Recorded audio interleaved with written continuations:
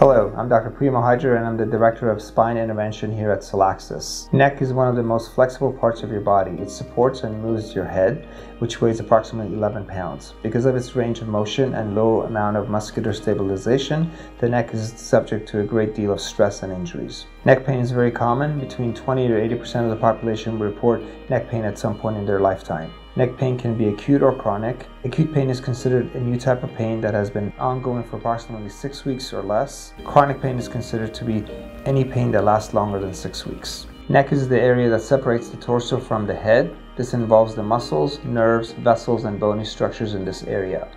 Any of these structures can cause neck pain. When it comes to the spinal conditions, it's extremely crucial to find out what's truly causing the pain.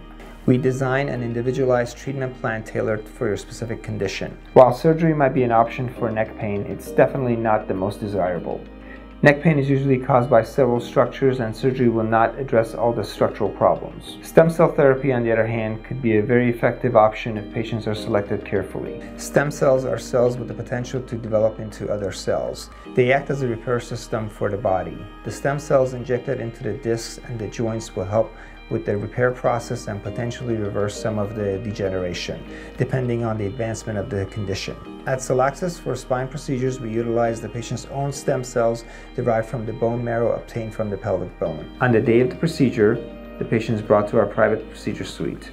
An intravenous line is started and 50 cc's of whole blood is obtained. The blood is centrifuged and the end product is the platelet-rich plasma.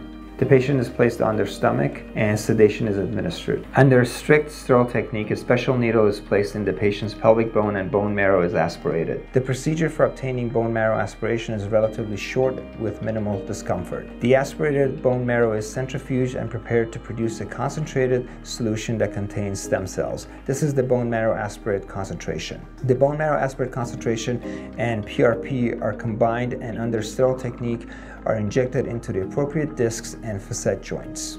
Most patients see an improvement in their pain and overall condition in approximately 8 to 12 weeks. Schedule an initial consultation to see what options are available. Thank you for watching. I hope this was informative.